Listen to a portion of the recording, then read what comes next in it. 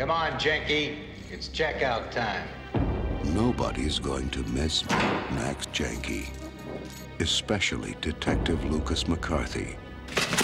Glad you could make it, cop.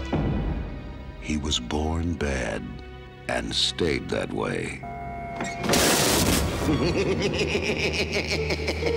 Nobody's going to miss Max Jenke. We sent 50,000 volts of juice through that scum. Looks pretty dead to me, Professor.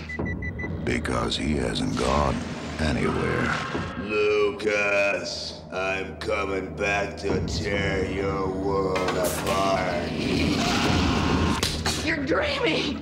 I thought you were dead.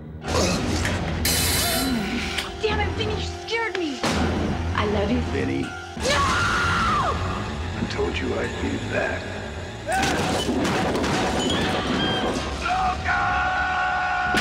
If you thought Freddy was a howl Funny thing happened to me on the way to the studio today. and Jason was a scream, I got a present for you. wait till you meet Max. Not even close.